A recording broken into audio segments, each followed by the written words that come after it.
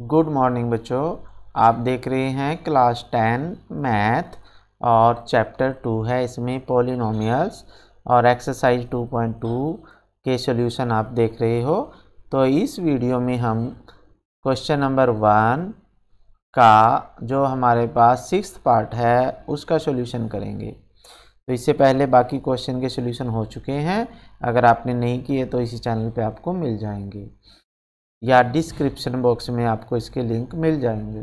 तो चलिए शुरू करते हैं क्वेश्चन का सोल्यूशन तो three X square minus X minus four हमारे पास क्वेश्चन है और ये कह रहा है कि find zeros of following quadratic polynomial यानी इस क्वाड्रेटिक पोलिनोमियल के पहले हमने जीरोज निकालने हैं फाइंड आउट करने हैं, फिर उसको वेरीफाई करना है रिलेशनशिप का जीरोज और कोफिशेंट्स यानी हमने इसको वेरीफाई भी करना है। पहले इसकी वैल्यू निकालनी है एक्स की।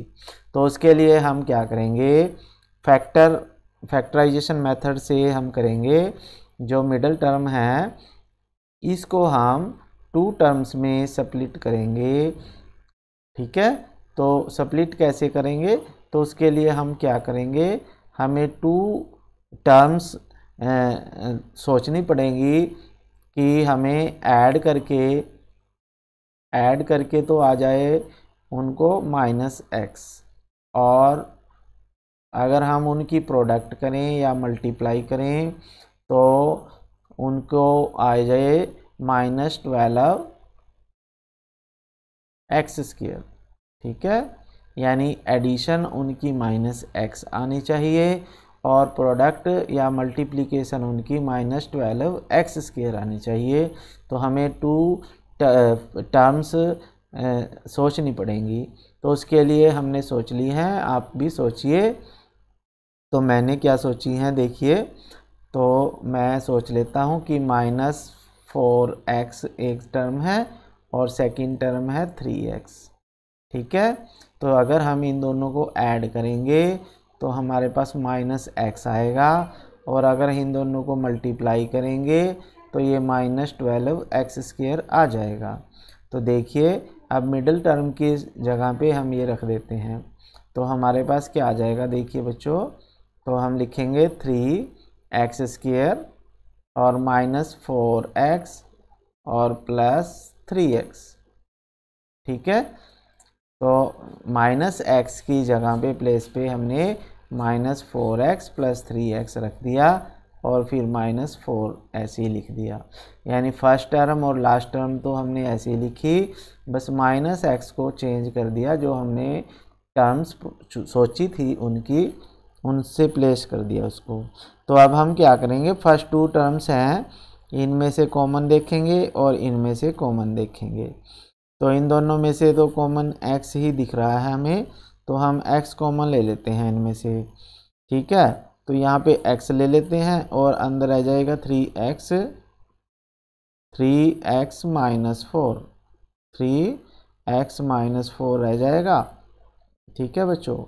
और प्लस अब इन दोनों में से कुछ भी हमें कॉमन दिखाई नहीं दे रहा तो हम वन लिख लेते हैं और अंदर रह जाएगा थ्री एक्स माइनस फोर ठीक है? तो थ्री एक्स माइनस फोर हम कॉमन ले लेते हैं बाहर, क्योंकि दोनों सेम है। तो थ्री एक्स माइनस फोर। हमने कॉमन ले लिया और बाकी एक्स प्लस वन और रह गया है तो इसको भी लिख लेते हैं एक्स प्लस वन। ठीक है? अब हम क्या करेंगे? दोनों फैक्टर्स को ज़ीरो के इक्वल रख देते हैं और एक्स की वैल्यू निकाल लेंगे, जिससे नंबर ऑफ़ ज़ीरोज़ आ जाएँगे। तो हमारे पास आ गया three X minus four is equal to zero और सेकंड टर्म भी हमने ऐसी लिखनी है। X plus one is equal to zero.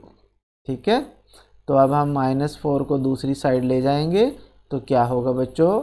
Three X is equal to four, और यहाँ से x इज़ इक्वल टू क्या आ जाएगा? Four upon three. ठीक है? तो एक टू ज़ीरोज़ तो ये आ गई, और सेकेंड ज़ीरोज़ भी देख लेते हैं। तो x इज़ इक्वल टू क्या आ जाएगा? x इज़ इक्वल टू ये वन दूसरी साइड जाके माइनस वन हो जाएगा।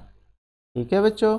तो एक्स की ज़ीरोज़ आ चुकी हैं, यानी एक्स की टू वैल्यूज़ जो आ चुकी हैं, वो देखिए। तो एक्स की टू वैल्यूज़ क्या आई हैं, जिसे हम जीरोज़ बोलते हैं तो फोर अपॉन थ्री है और माइनस वन है। अब इनको वेरीफाई भी करना है। तो वेरीफाई करने के लिए हम क्या करते हैं बच्चों? तो देखिए वेरीफाई कैसे करें?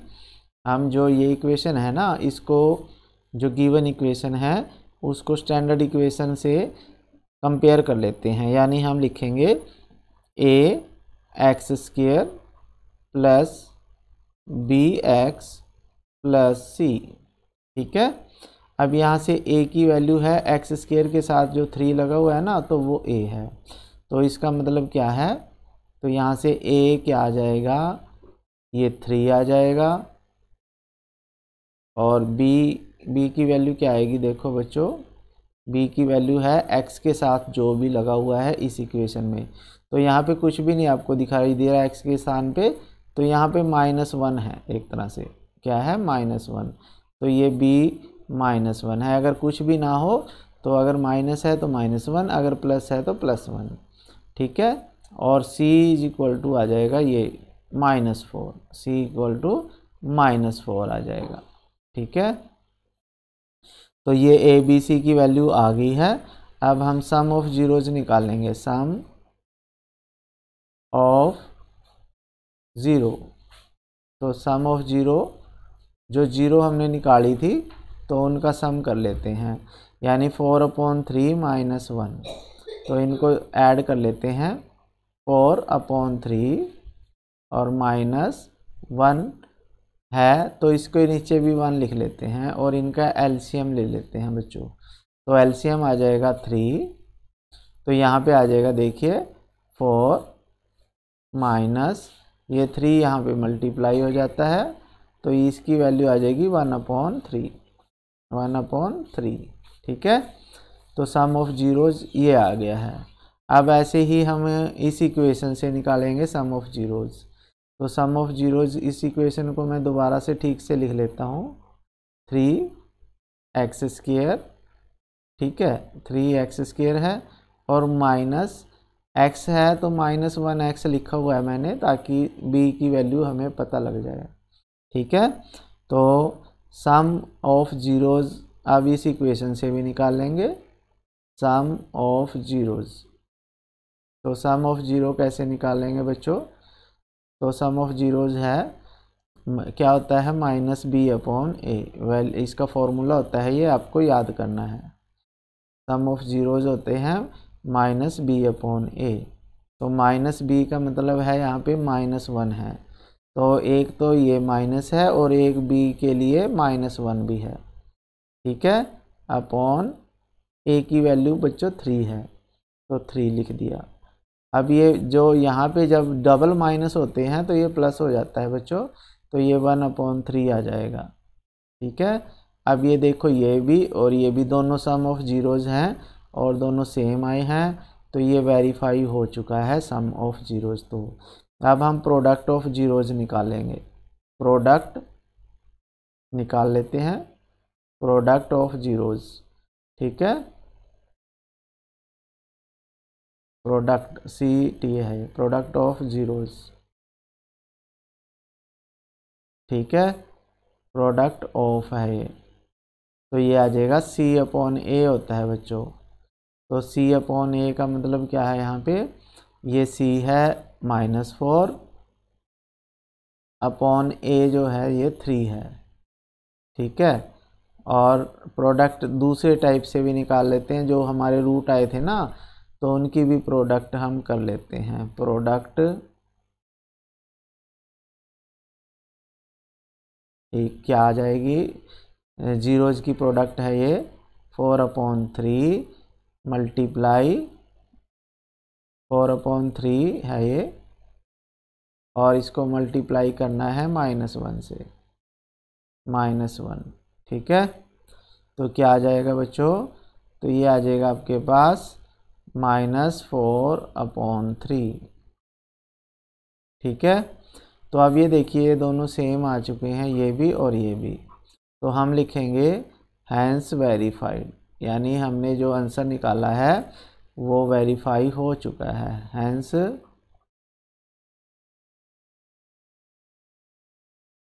वेरीफाइड ठीक है?